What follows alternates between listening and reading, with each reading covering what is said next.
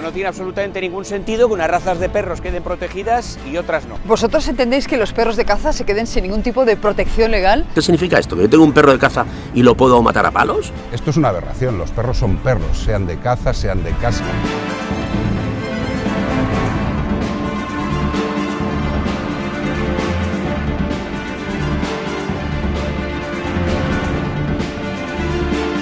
Precisamente los perros de caza, que son los que sufren las mayores atrocidades, queden fuera de la ley de protección animal.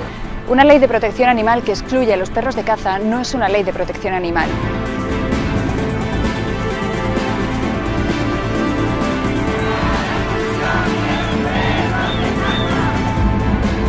Porque en muchísimas ocasiones son maltratados, malviven en condiciones pésimas, eh, son torturados, son ejecutados, así que no podemos dejarlos al margen. Yo digo no a esa enmienda del PSOE al proyecto de ley de protección, derechos y bienestar de los animales, porque también ellos, los perros de caza, necesitan amparo legal.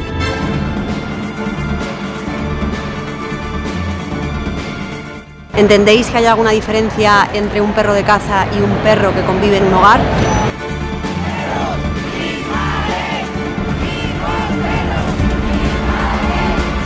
Mismos perros, misma ley. Mismos perros, misma ley. Mismos perros, misma. Mismos perros, misma ley. Mismos perros, misma ley. Mismos perros, misma ley. Mismos perros, misma ley. Mismos perros, misma ley. Mismos perros, misma ley. Mismos perros, misma ley.